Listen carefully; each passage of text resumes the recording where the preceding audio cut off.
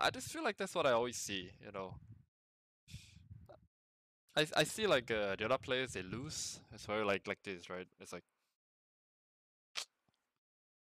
you know, like the other players when they lose, you know, it's like oh. when I when I see like League of Legend players when they lose, they're like